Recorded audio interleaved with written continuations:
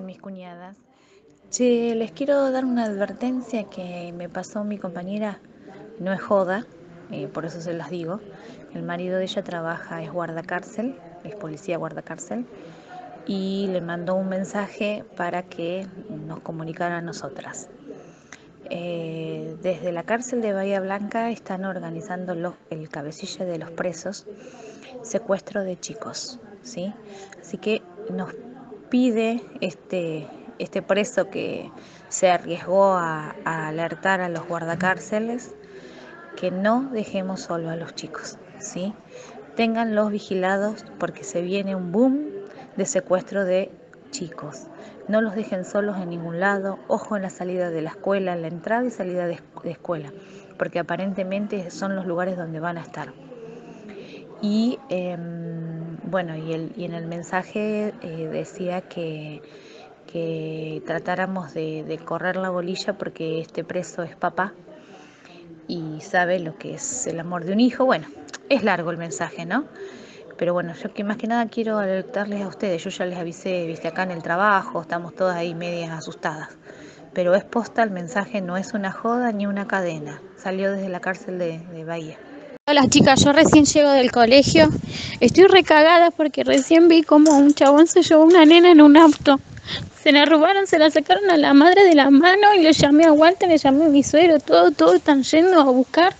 La policía, estos hijos de puta que tardan una banda, no sabe qué susto que me llevé, se la llevaron a la nena, se la arrancaron de los brazos, se la llevaron en el auto. Uno que trae un vestido de enfermero, no, yo tengo un miedo porque recién se la llevaron a la nenita y a la mamá la conocemos todo. No sabe qué cagazo me agarró, tengo un miedo porque son unos hijos de puta. A la nena recién se la llevaron. Hace cinco minutos fue esto y me vine re asustada. La policía fue, la llevaron a declarar. Pero no sé, las nenas no sabemos nada. Están buscando el auto. Es un auto negro con vidrio polarizado estamos todos viendo cómo podemos hacer porque todos los vecinos, unos vecinos agarraron la moto, el, el, auto y se fueron y fue cortando campo y se fue a la mierda. Pero a la nena se la sacaron de los brazos, la mina lo agarraba a la nena y se la tiraron y se la tiraron y se la sacaron de los brazos y se la llevaron arriba de un auto. Y yo tengo miedo porque yo ando con los dos míos sola y no sabes.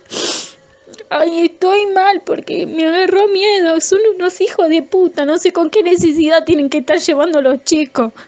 Sí, negra, me quisieron robar a Lourdes. ¿Tú sabes qué feo que fue?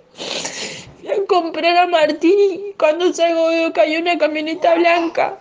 Entonces la estaba observando porque había dos chabones que me estaban remirando salía con una bolsa que fui a comprar toda la cosa para limpiar y cuando veo que la camioneta prende, la agarra Lourdes de la mano, Lourdes se me asusta, sale corriendo. Cuando veo que la, cuando la camioneta empieza a acelerar, tiré la bolsa a la mierda y la salí a agarrar Lourdes me puse contra la pared, porque si entraba a mi casa iba a ser lo peor que me podía pasar.